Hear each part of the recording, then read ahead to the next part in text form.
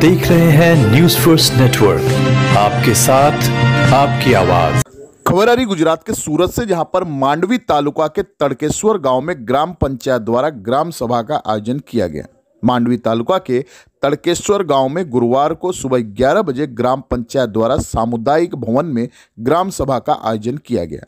इस बैठक में मौजूदा सरपंच सिरीन यूनुस महिदा, सरपंच यूनुस महिदा, तलाटी मंत्री विजय भाई बारिया ग्राम सेवक व पंचायत के सदस्य हीनाबेन गामित, मांडवी उप मामलतदार सुजीत भाई बी पटेल, मांडवी ईओ चेतन भाई चौधरी, आशा कार्यकर्ता बहनों, प्राथमिक स्वास्थ्य केंद्र के कर्मचारियों ने पंचायत के नेतृत्व में ग्राम सभा की, जिसमें गाँव के कालू भाई वासवा, कांति भाई सिंह वसावा, पुर सिंह टेलर, जावेद बांगी, याकूब नखुदा और बड़ी संख्या में गाँव के भाई बहन मौजूद रहे।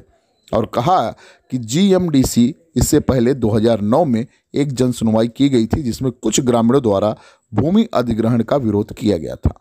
वह मौजूदा में भी विरोध किया जा रहा है क्योंकि वे कलेक्टर के आदेश के विरोध में भूमि अधिग्रहण करने जा रहे हैं।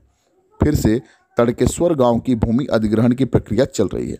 जीएमडीसी द्वारा ग्रामीणों ने इसका विरोध किया है और तड़केश्वर प्राथमिक स्वास्थ्य केंद्र में जो वर्तमान में एक डॉक्टर हैं, उनका भी ग्रामीणों द्वारा विरोध किया गया था।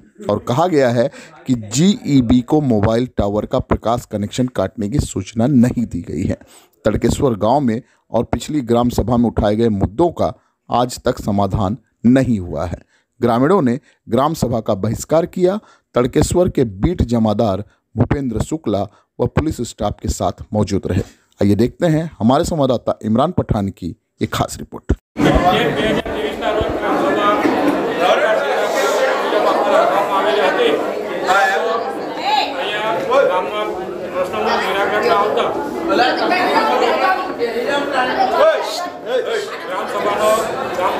બહિષ્કાર તરીકે બહિષ્કાર કરવામાં આવેલ છે જેથી આજની ગ્રામસભા મુલતવી રાખવામાં આવેલ છે ચાલો ચાલો ચાલો